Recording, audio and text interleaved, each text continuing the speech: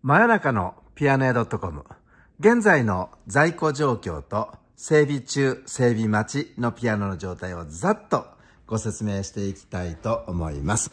ここにあるのがナイト音の指弾用。こっちはジョージ弱音。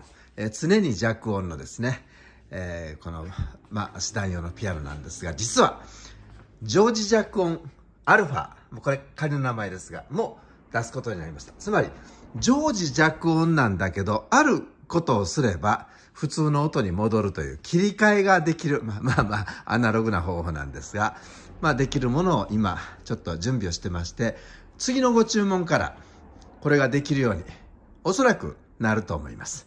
だから、常時弱音ではないんですが、一応アルファというね、仮の名前を付けましたので、常時弱音進化してます。はい。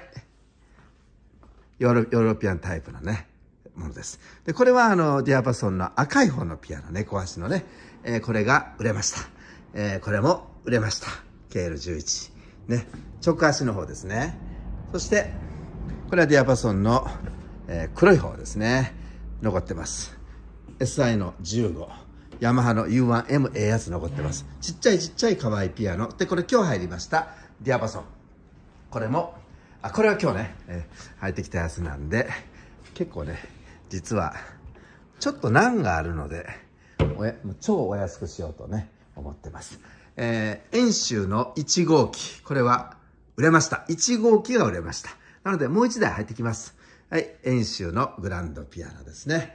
そしてヤマハの U3M それから US の 5X この2台売れましたね。US50 と、えー、ディアパソン売れました。この大橋が2台。今これだけです。ですから今、アップライト残ってるのは9台になりますね。えー、どんどん売れていきます。でもいいの残ってますので、えー、お探しの方はちょっと急いでいただいた方がいいかもしれませんね。さあ、それでは、現在、あ、整備待ちの方、ちょっと待った。戻ります。整備待ちの状態がぐっと上ですね。そして、ヤマハかな？あ、これディア、あ、これは大橋ですね。大橋の艶消し。で、ヤマハの W106 ですね。あとリメイクがあって、これも売約済みで、ディアパソンですね。さあ、整備待ちの状態が以上です。で、え整備中のピアノが下にありまして、もうね、この映像を見て、あの、うちに来られた方は、ああ、動画に出てたあの、あのバシやっておっしゃいますが、ロレックスの RX の230これ今リメイクで整備中ですね。これアグラフのいいやつですよね。えこれは W106 ですね。これもバラして今修理してます。え 125C です。これも今調整中ですね。これはディアパソンの132これはリメイクだと思いますね。はい、えー、HM100 ですね。これはメルヘンだと思います。これも整備終わりましたね。整備終わってますね。河合の KL11KL です。これはアクションの今修理中ということで。